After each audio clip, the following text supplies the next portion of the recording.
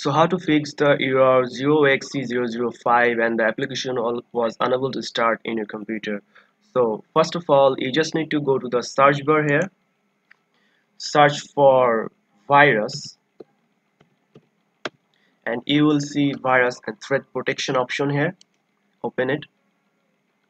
So if you're using a third-party virus threat protection you can we will have quick scan or full scan or you is just using the Windows 10 Defender like me you can just go for quick scan here. So click on quick scan here and it will start to scan your PC and it will also restore or delete the virus thread from your PC after quick scanning your PC you just need to go to the search bar again and search for sysdm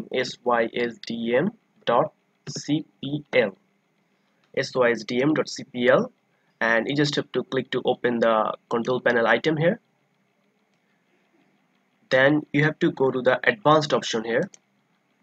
After that under the performance uh, there you just have to go to the settings here. Then you have to go to the data execution prevention tab here. Then here you will see two option here which is called turn on DEP for all essential windows and turn on DEP for all programs and services except those I select so choose that second option here. And now we have to add the file here which was unable to start and giving the error of 005xc so for example so for example I'm going to add a application here which is just go to the folder or locate the folder that the application that you're having problems so just I'm gonna choose a folder here. Uh, suppose I'm having problem in the Internet Explorer here and I will choose the exe file here.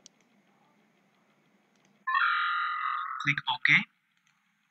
And as you can see the Internet Explorer is here. In your case that might be another application. You have to find it locate it and add this here. And then just click apply. Click OK. And you just have to restart your computer and this will fix the problem of your application. So if you find this video helpful please subscribe to this channel and thank you for watching